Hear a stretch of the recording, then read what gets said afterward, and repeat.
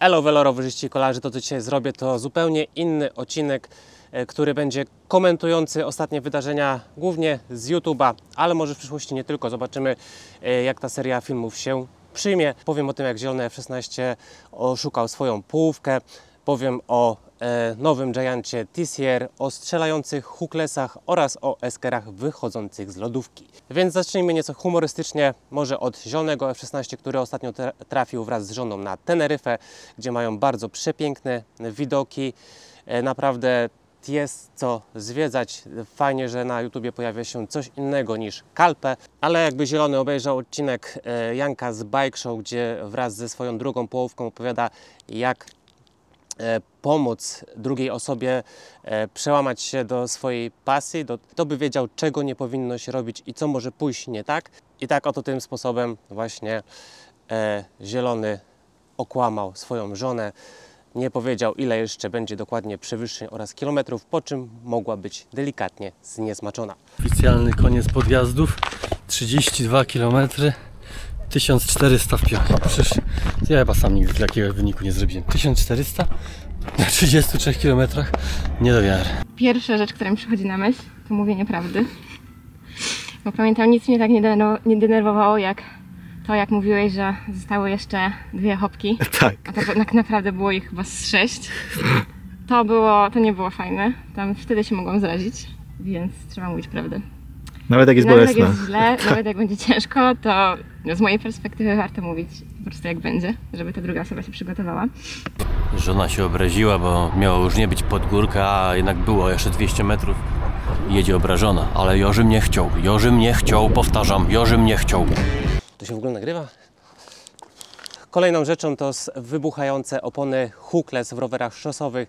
Można było zobaczyć na kanale Koglow oraz e, roadracing.pl omawiające szczegóły tejże sytuacji, a w skrócie mówiąc chodzi o to, że e, w peletonie Thomas Dechent jadąc na swoim rowerze ni z gruchy, ni z pietruchy e, strzeliła mu opona this moment. It is. It feels as if he hit something. You just Yeah. bobble. That is a strange thing. That's um, Did tube come out? yeah. Uh, it looks like a. Has it been moosed? Anybody's guess, but um, but yeah, No, he's hit that. He's hit that. yeah, yeah. I know. I know. I'm just trying to work out what it is. Um, in these in this part of the world, they uh, they they occasionally have a strange one. But anyway, I'm just wondering whether um, gdzie doszło na wypadku na szczęście niegroźnego. E, Były e, odtwarzania nagrania, aby zidentyfikować, co się tak naprawdę stało. I okazuje się, że opona e, nie była do końca zgodna ze standardami ETRO, jakoś tak to leciało, e, bo e, według zaleceń ZIPA e, najmniejsza minimalna wymagana szerokość to 29 mm, a opona miała 28. Niby powiadają milimetr to nie metr, ale jak widać tutaj może mieć ogromne znaczenie. Dlaczego powiedziałem, że system hookless wybuchł? Bo to sam miałem też taką okazję, gdzie mogliście zobaczyć u mnie na kanale w momencie, kiedy jechałem na tych oponach, które teoretycznie są zgodne ze standardem hookless. Były zamontowane na e, kołach Vinci właśnie w systemie hookless, czyli bezhaczykowym i jadąc sobie opona po prostu strzeliła. Szybko jeżdżą po asfalcie, sz- szutrach premium.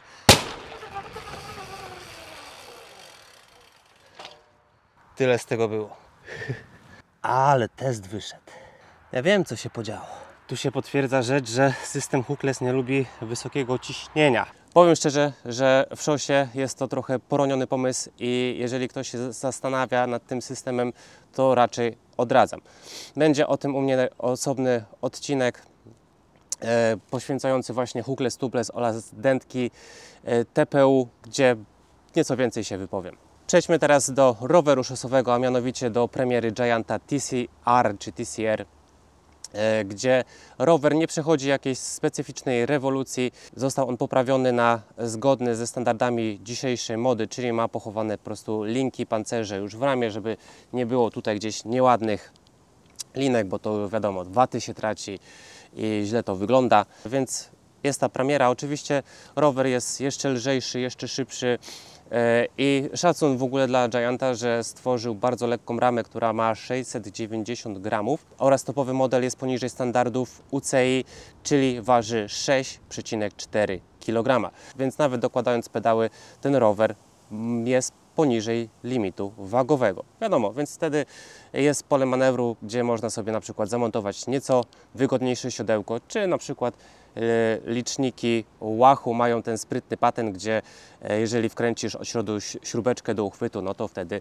e, on też jest integr- integralną częścią roweru, więc spoko. Rower, jeżeli chodzi o wizualnie, dużo jakby nie różni się od poprzednika, jest to jakby taka kontynuacja.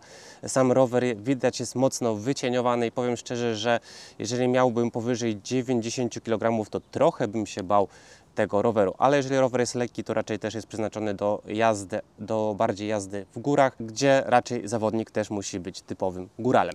Teraz przejdźmy do eskerów wychodzących z lodówki. Jak widać, eskerów na YouTubie jest ostatnio mnóstwo, na przeróżnych kanałach. E, Pojawił się on nawet u Przemysława, który teoretycznie był fanem Rometa, ale trafił e, w jego ręce rower na ramię stalowej z nowej wers- w nowej wersji Adventure, gdzie powiedział w swoim filmie, że nie musi, e, nie ma, że jakiś tam spe- że nie ma jakichś wytycznych, więc po prostu ma tylko jeździć i tyle. na Instagramie właśnie Cross ma taki hashtag nic nie musisz, wszystko możesz. Powiem Wam, że chyba stosują to, bo w zasadzie na moim kanale za wiele się nie zmieni. SKR-y z nowej generacji, tak jak tutaj obok mnie były, pojawiły się na kanale Sprint Rowery, gdzie był on porównywany nawet do e, Unibike'a Geosa. E, Porównanie dosyć ciekawe. Myśl, oczywiście trochę lepiej osprzętowo wypada Geos, ale jeżeli chodzi o kwestie raczej wizualne i chodzi geometrię, myślę, że dużo lepszą propozycją jest Esker, bo Geos niestety ma trochę tą geometrię przekombinowaną i on naprawdę ma przekombinowaną. Jak niektórzy myślą, że tutaj Eskery są dziwne, to Geos jest jeszcze dziwniejszy.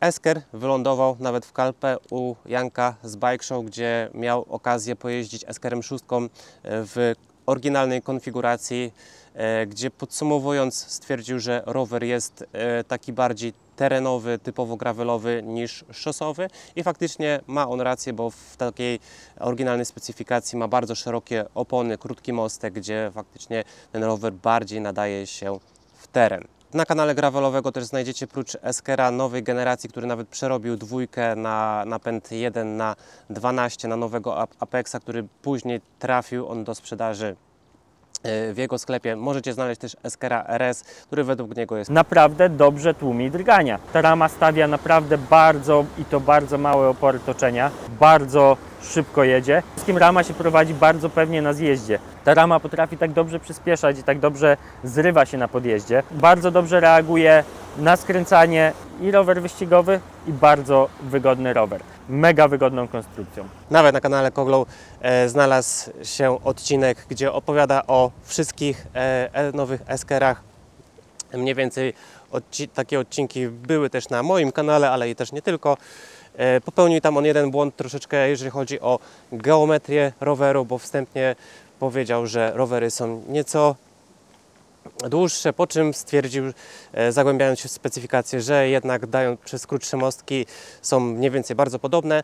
Cała geometria za dużo się nie zmieniła. Na pewno na plus jest masa nowych mocowań, czy takie miłe akcenty jak logo gravelowe nad tylnym trójkątem. Eskery dalej mają spory prześwit, ale geometria jest troszkę bardziej zadziorna, choć to wszystko jest korygowane również innymi rozmiarówkami i innymi ustawieniami, więc wiecie co, montując teraz ten materiał o crossach, zauważyłem jedną rzecz. Mostek w tych nowych crossach Gen 2 jest zdecydowanie krótszy. Czyli ten ridge, który niby został wydłużony, jest kompensowany krótszym mostkiem. Ta kierownica będzie praktycznie w tym samym miejscu, co może się przełożyć tym, że będzie bardziej zrywny, ale niekoniecznie. Ciężko jest tak na sucho powiedzieć. Fajnie byłoby to przetestować. To samo mniej więcej powiedział y, Gravelowy na swoim kanale, e, ale ja upieram się cały czas, że tak do końca nie jest, bo rozmiary S i M finalnie nawet z krótszymi mostkami wychodzą o 2 cm dłuższe, czyli jeżeli stara MK jest nową S, rozmiar L jest centymetr dłuższy, a XL wychodzi nawet centymetr krótszy od poprzedniej generacji, czyli bardzo ciekawie. Szkoda, że Cross nie pozostawił e, tendencji wzrostowej, jeżeli chodzi o mostki, że im większy rozmiar, tym dłuższy mostek. Na przykład przy LC dać 80, przy XLC dać 90 i myślę, że naprawdę byłby to strzał w dziesiątkę. Ostatni znany kanał to Krzysztof Maxel, który jest ambasadorem Crossa i dostał on nowego RS-a w bardzo ciekawym malowaniu, który wyruszył w podróż do Hiszpanii, gdzie tam chciał zrobić taki dłuższy trening 24-godzinny jazdy non-stop, bez spania. Niestety nie wyszło. E, Finalnie e, musiał przenocować, bo nie wiem, czy go zmogło, czy nie, ale e, musiał sobie zrobić przerwę i e, nad ranem, gdy już wyruszył w dalej nieznane tereny, e, pokazując jak to się znajduje wodę w, nie wiem, na pustyni, niestety rower się przewrócił, pękak i przygoda zakończyła się na około 200 km. Wyrywamy świeże piwko.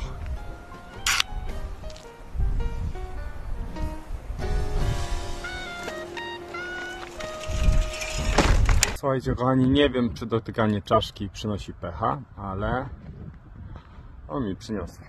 Urwał mi się niestety hak tylnej przerzutki. No i niestety nie mam zapasowego. Do tej pory Krzysztof Maxel był torowcem, więc e, tak naprawdę on zaczyna swoją przygodę z gravelowaniem, więc będzie pewnie popełniał jeszcze wiele błędów.